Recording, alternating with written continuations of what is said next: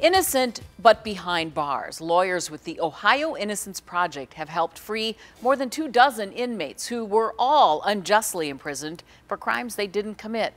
The lawyers talked exclusively to News 5's Jennifer Auh about how they helped free their most recent case, Evan King. The high, the joy, the celebration of being released after decades in prison. And it all starts with a letter. He wrote to us and asked us to assist him, and that's when we got additional experts to look at it. Jennifer Bergeron is talking about Evan King, who was at first unable to get his murder verdict reversed despite having DNA evidence proving otherwise. They come in, some of you can tell right off the bat they're not good cases. Others, you have to do a little bit of work and then you find out it's not a good case, and then some of them just keep lasting and lasting. Mark Godsey telling us those are the cases where the more they dig, they get closer to the conclusion that, wow, this person may really be innocent.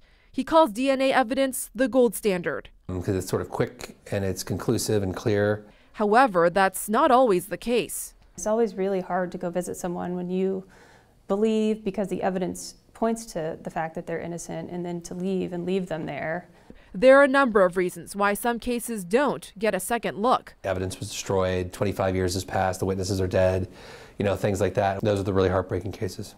Out of the 8,000 plus requests, the Ohio Innocence Project at the UC College of Law has only taken up about 160 cases. Of those, only 25 inmates have been freed. Every time you wrongfully convict someone, the real perpetrator, the guilty party, is still out in the street committing more crimes. I mean, it's a, it's a double whammy. Which is why Godsey says the system pushes back. Many prosecutors and judges don't want to admit a mistake has been made. Who wants to admit that in their courtroom somebody was wrongfully convicted 10 years ago? You may remember Evan King's case. He was found guilty of murdering his girlfriend, Crystal Hudson, more than 20 years ago.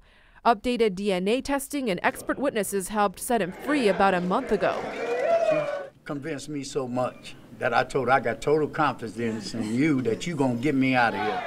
I was there when King was released, thanking his lawyer, Jennifer Bergeron, and the whole Ohio Innocence Project team. The work that they did can never be replaced. You know what I'm saying? We joined at the hip for life.